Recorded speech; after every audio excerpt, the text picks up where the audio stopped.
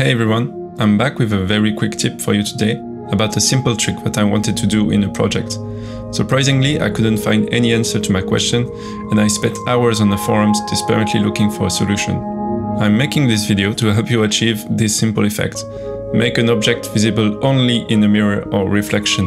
We've all seen this effect in movies, especially horror movies, but it can be used for mini projects and use cases.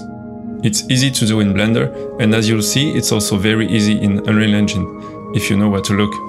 First of all, I'm using ray traced reflections here because my whole project was based on this mirror and I wanted to get the best looking reflections possible. In theory, this trick should also work with Lumen reflections, but there's a good chance that if you are looking to do this effect, you'll be using ray traced reflections like me. Now all you have to do is go to the details panel of the mesh you want to hide from the world. You go to rendering and turn off visible. And now to get it back in the reflections, you need to go to lighting, advanced, then turn on affect indirect lighting while hidden. And that's it.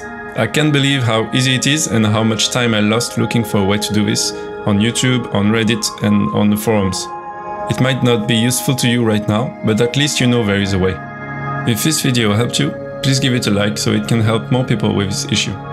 That's all for now. I'm quite busy at the moment, but I am planning to release a complete beginner guide on foliage in the coming weeks, so stay tuned for that.